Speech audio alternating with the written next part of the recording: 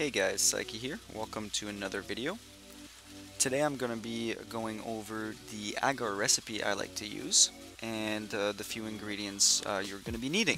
Uh, I will also leave that in the description below so you can find it for yourself.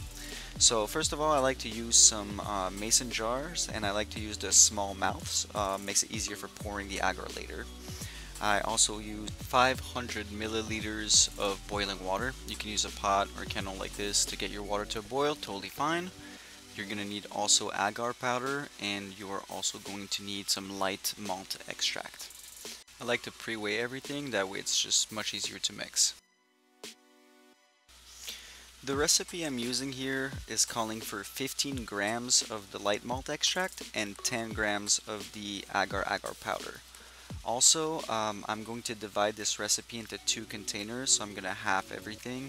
The reason for that being is I just wanted to use some different colors uh, to color code my agar. Sometimes I like it for labeling later on.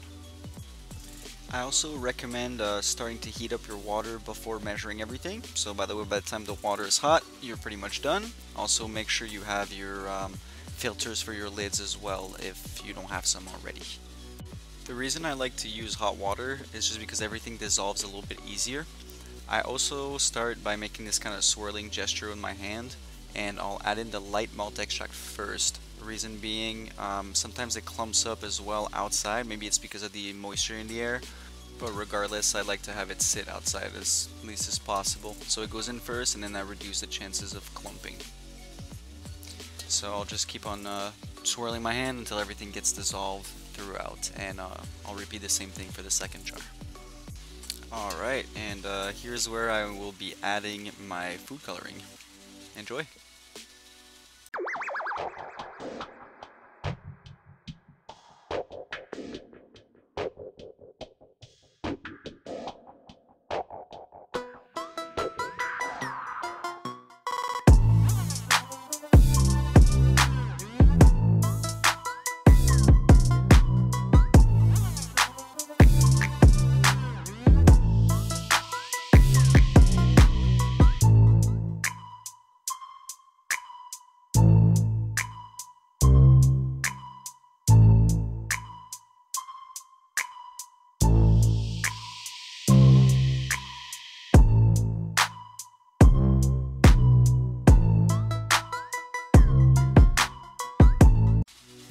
Welcome back. Okay, so we're pretty much all done. Everything's mixed through. Now the most important thing anytime you're using jars and about to pressure cook is to wipe the lip of the jars. That is going to be the only place uh, that still has risk for contaminants even through the pressure cooking. So you really really want to make sure uh, you rubbing alcohol wipe the lip. And then now we're going to be using some aluminum foil the reason being we have uh, filters on these jars and you want filters on the jars because you don't want things to kind of uh, explode and shatter in there. And the aluminum foil is to block uh, any water droplets from hitting the top of our jars and possibly uh, hitting our filter and then going into uh, the mixture itself and then that could actually off balance things uh, a little bit.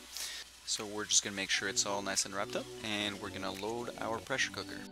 Okay, so I just wanted to show real quick the water level. Sometimes people struggle with that, sometimes it's too much, too little. I like to go kind of like, if, you, if you're in doubt, go on the higher side because if you go on the lower side and your water runs out, you're just ruining everything. So you kind of want to go about a third of the way up the jars and we're going to be pressure cooking for 40 minutes once it reaches that 15 psi.